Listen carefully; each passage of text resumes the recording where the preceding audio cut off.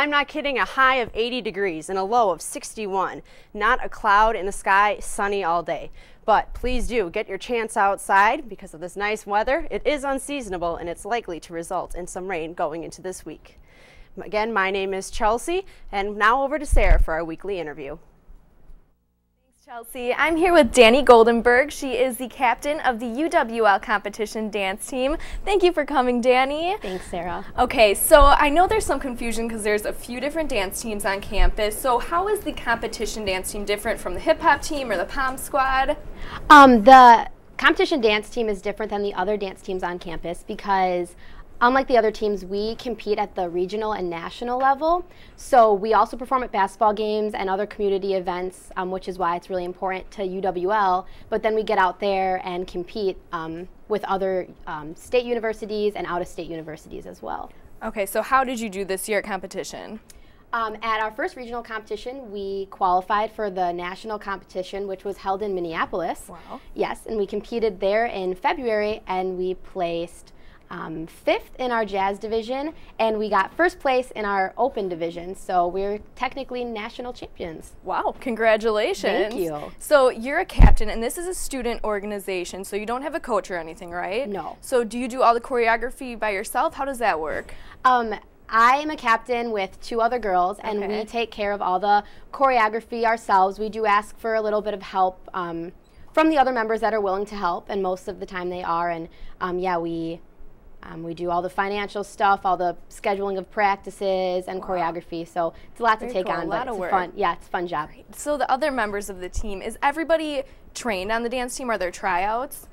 Um, they, there are tryouts, but we don't um, require any um, level of dance to be able to try out. So it's open to anybody, and um, generally the girls have had some dance experience, and the tryouts are generally held um, in the beginning of each new school year. Okay, cool. And what type of dance do you do? The dance team is a, uh, a more of a jazz-based team okay. with some kind of ballet background generally, um, but yeah, like I said, jazz. Very cool. And okay, so where can we catch these dance team performances? I know you said the basketball games. Anywhere else? Are you doing anything? Um, the basketball games um, are where we perform more regularly, but each year we do a cancer benefit show at the end of the year to raise money for cancer. So that's a good place to check us out. Okay, so tell me about this benefit show. What's it all about? This benefit show was started six years ago for, um, there was a UWL football player who was diagnosed with cancer and the football team wanted to do something to raise money for his cancer. And so the football team and dance team have gotten together and each year raised money for an organization or a student um, to help them raise money. Um, well, we raise money for them to help them with um, dealing with their cancer and their medical bills and such. So um, this year, our show will be on April 20th at 7 o'clock and April 21st at 5 o'clock. Oh, very cool. Yeah. And anyone can go? All the students can yes, go? Yes, it's $5 for everyone. Um, the general public is invited, students, and it tends to be a really good time. Um, I know a lot of faculty comes as well, and um, yeah, we just we're trying to raise as much money as we can. That's amazing. Now, last year, if I remember correctly, didn't it go to a boy that was on the football team?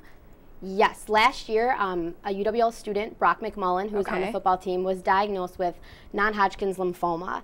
And through ticket sales and community sponsors, we raised over $5,000 for Brock. And um, Brock is actually in remission right now and well enough to be dancing in this year's show. So you can come out and catch Brock this year dancing wow. when last year the money was going to him. That is absolutely amazing. Yeah. So tell me, how do these practices go? I figure it, it's probably hard to control a group of rowdy football players. yeah, it's a little bit crazy. We practice with them two times a week, and although they're out of season, they have a really busy football schedule. Sure. Um, yeah, they have a lot of off-season stuff to do. So we practice with them when we can, and there's 16 girls and 16 boys. So like you said, it gets a little out of control, but um, we try and buckle down when we can and just keep in mind that we're doing this for a really good cause and get serious and down to business sometimes so we can put on a great show for everybody else. How long do you practice for this show? Uh, we have been practicing since the end of January, and we wow. practice all the way up until the show, so about three, three and a half months. Very cool. So if people come to the show, what can they expect? Um, I don't know. I would say expect the unexpected. We never know what these guys are going to do. Um, I would say expect definitely a lot of laughs, some good dances, some crazy outfits generally from the boys, right. um, and really just a lot of fun. Awesome. That is amazing. Now, okay, can you tell me what has been one of your favorite experiences with the dance team? Sure. Um, the benefit show is an annual thing and it's always a good time, but I'd have to say that one of the best memories that I've had um, was this year at Nationals when we were announced the winners. It was really humbling and um, a great experience for all of us.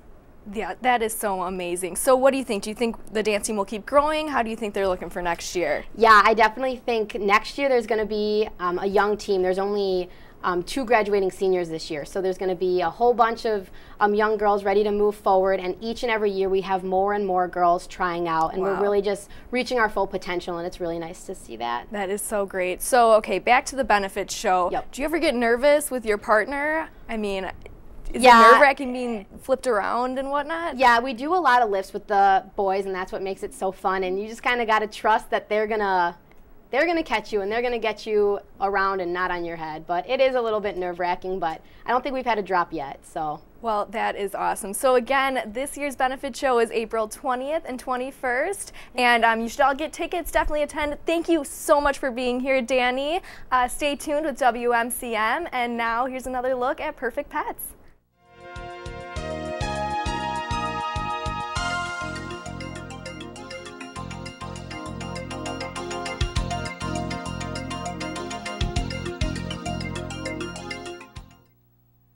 Come meet Sunny, a two year old male domestic short hair. He's very friendly and affectionate, and his purr will for sure win you over in no time. Here's Haley. She's a female one year old German Shepherd Husky mix. She's a beautiful, lovable dog that will brighten any home she's adopted into. Looking for a kitten? Well, then Kermit's the cat for you. He's a six month year old domestic short hair. He's very playful and is looking for the perfect home with lots of fun things to do. And last but not least, here's Toby, a four month year old lab. He does well with other dogs and has lots of energy and certainly a lot of love to give. To find out more about adoption for these pets or others, contact the Coulee Region Humane Society at 781 4014.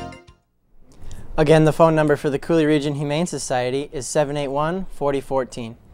The University of Wisconsin La Crosse women's swimming and diving team competed at the NCAA Division III Championships last Friday in Indianapolis. UWL's Danielle Ellingson earned NCAA Division III All-American honors with a third-place finish in the 100 breaststroke with a time of 1 minute 2.68 seconds.